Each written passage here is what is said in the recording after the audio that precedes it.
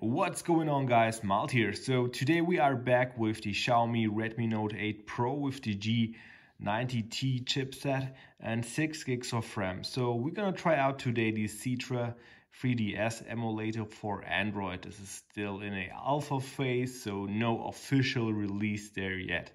Nevertheless, we're gonna try out one of the most beloved games for the 3DS, which is Pokemon X. So, of course, um, or Pokemon Y this time. um, so of course you have to own uh, basically the physical copy as I had a quite outstanding big 3DS collection way back then I, and I still have that somewhere. Um, you really gotta flash your game into the BIOS and so on.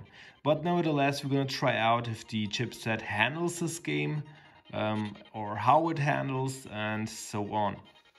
Okay, what, what I'm gonna change is here the aspect ratio, um, which will be, let's take large this time.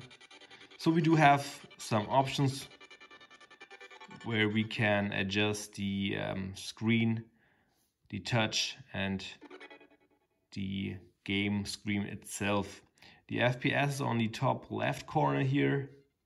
I already skipped ahead and start the game and yeah basically it's uh, really laggy um, as well the sound is really choppy. So we average, average somewhere around 5 to 6 7 fps um, which I wouldn't tell is or wouldn't say is playable. Um, maybe if you have a lot of time on your hands and if you can bear the lagginess, you probably can play it, but I really don't recommend doing so. I wouldn't have time on my hands to eh, basically wait through the cutscenes and everything.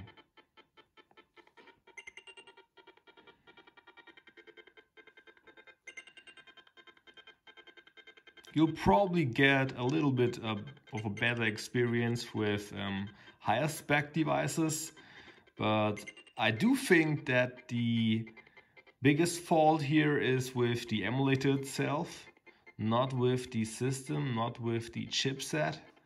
And I think those guys at Citra still need to optimize their app quite a bit for each um, game itself.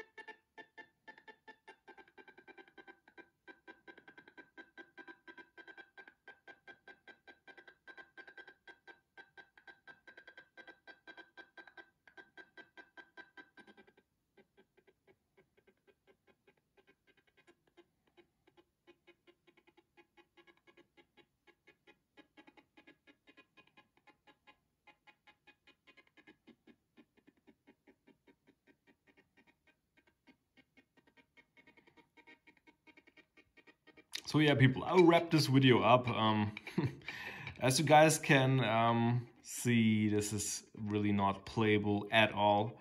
Um, we are, like mentioned in the beginning, hovering somewhere between 3 to 6, 7 FPS, um, which is really not um, playable, at least for me.